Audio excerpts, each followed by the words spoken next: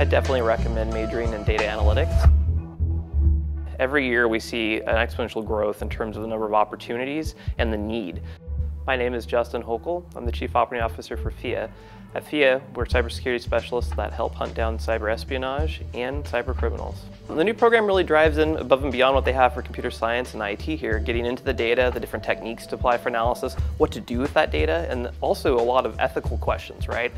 If we have data, should we use it? Should we collect it? Should we share that?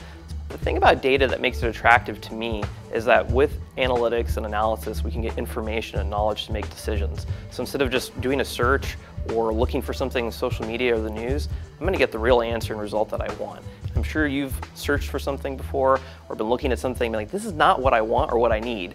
Data analytics really helps us find the answers for decision makers. So when we're working for the government, clients like the Cybersecurity Infrastructure Agency, we have to be able to provide those decision makers with real information and knowledge to make decisions. With just a lot of data, there's nothing there. So you need analysts to make sense of it.